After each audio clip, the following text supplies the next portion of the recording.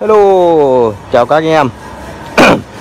Mình vừa mới uh, đóng làm cái cán cho cây à, uh, parang Cái lưỡi này thì mình làm độ 3-4 tháng rồi.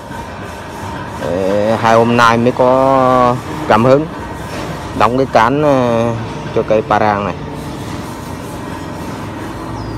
Cán gỗ uh, one nút hay còn gọi là gỗ ốc chó.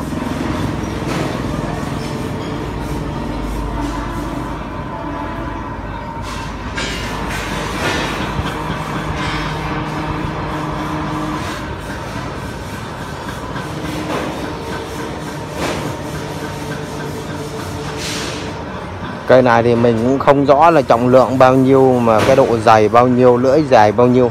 Vì mình cũng chưa đo, cũng không ờ, quan trọng lắm cái vấn đề đó. Cảm nhận của mình là cây này à, cái size trung bình. Lần trước mình có làm là cây size lớn hơn. Thì ờ, tại sao mình lại, cây trước thì mình làm cán gỗ ờ, chắc, còn lần này mình lại làm cán gỗ one nút vì cái trọng lượng của cái lưỡi này mình muốn ờ, tối ưu cái lưỡi dao nó cân bằng nhất à cái con dao nó cân nó có lực chặt và nó phục vụ cái nhu cầu công việc. Nó phải có lực như các bạn nhìn này. Ví dụ như cây này này mình chặt thì mình cầm ra đây nhé Đấy, cầm ra cái chỗ cái đầu vấu này.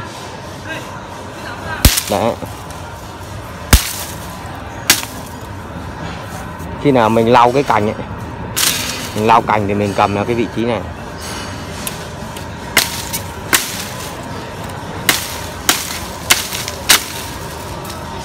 Các anh em thấy chặt thì mình cầm ở đây. Thì ờ, cái cánh tay đòn nó dài hơn và cái lực chặt nó tốt hơn. Đấy.